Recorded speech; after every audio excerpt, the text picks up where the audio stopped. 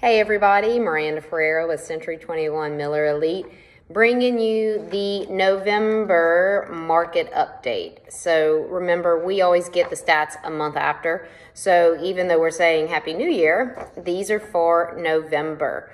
So a couple of interesting things, and remember, you can always find this on uh, all my social media and my website.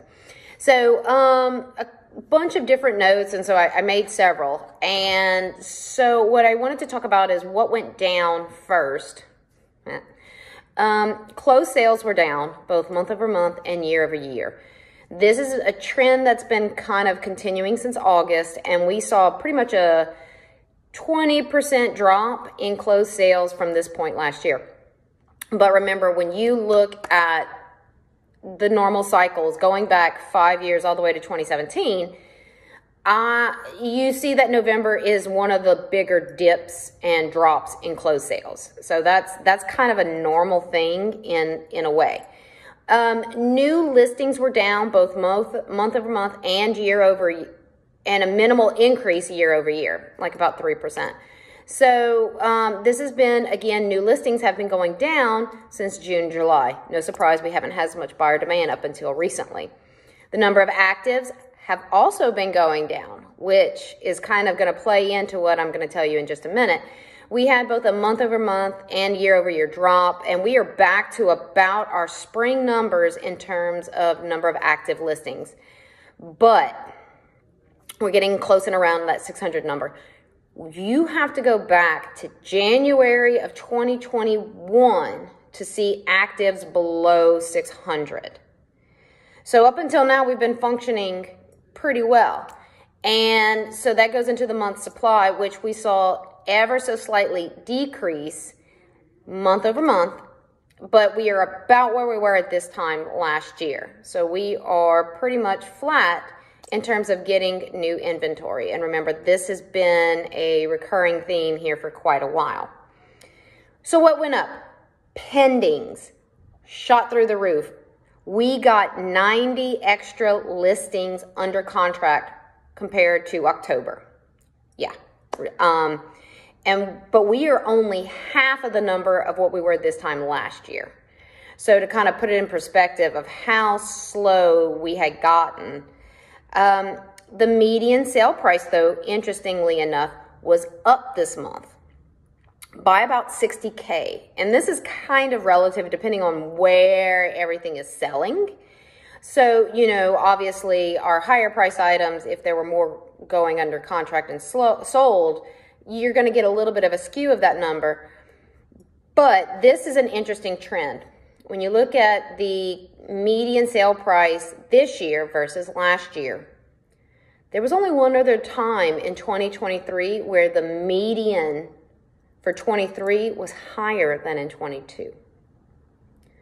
So that is worth watching because are we now truly beginning to see kind of the market kind of catch back up with itself? I don't know. This is only the first month where we're seeing it, but it's going to take a while. So when, again, kind of looking at those trends, like I said, November is typically a down month comparatively. Um, and then you see a little bit of a shoot up in December. And then you'll see a drop again. Like I said, looking back to 2017, you see that. You see the dip in pendings and then you'll are closed and then you'll go up in January or up in December down a little bit in January, and then February, March, we see that upward swing as we get into the buyer season. So that is going to be pretty much normal. What is worth watching is what happens with mortgage rates. We have seen significant drops, just like we saw this time last year and earlier this year, where we had that drastic upswing we are now starting to see a fairly significant drop in rates. Um, so with that, we have seen a little bit more buyers coming to the market, a little bit more showing requests increasing. And so that is going to be bear, to be worth watching because we don't have this, remember that active listings I was telling you about. We did not really make any gains in listing supply.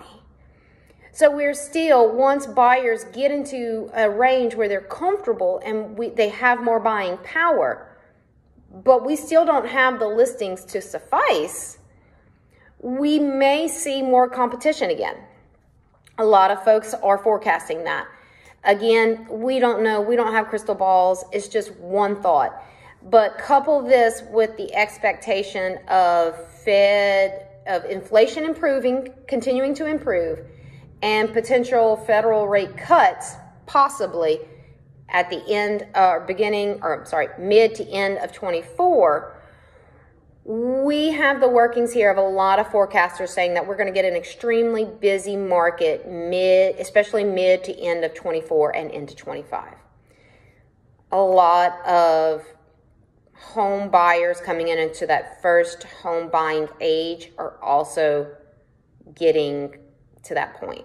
So we're seeing a, flux of new buyers and buyers returning because of the improved buying power we'll see what happens. But thank you so much. Miranda Ferreira, Century 21 Miller Elite. I tried to keep it short, but it was a lot to say today. Check it out, and I appreciate it. Everybody, have a wonderful day.